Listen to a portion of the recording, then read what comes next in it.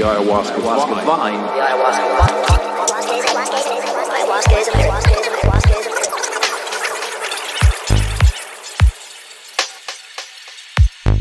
The ayahuasca vine.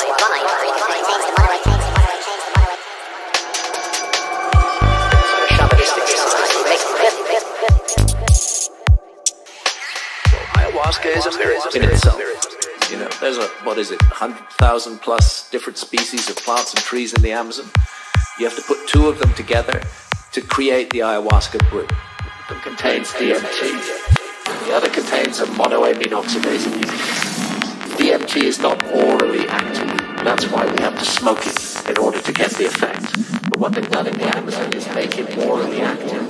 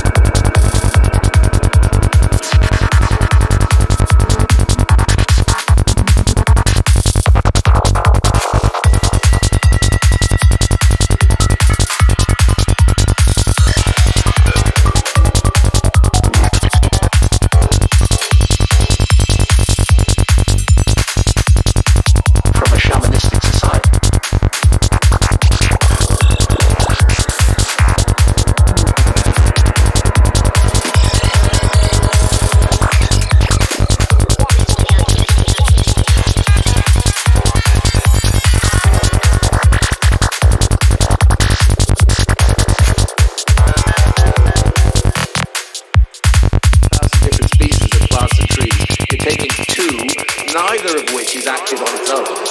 Only work when they're combined together. How did you arrive at that? And they say, the spirit, spirit, spirit, spirit.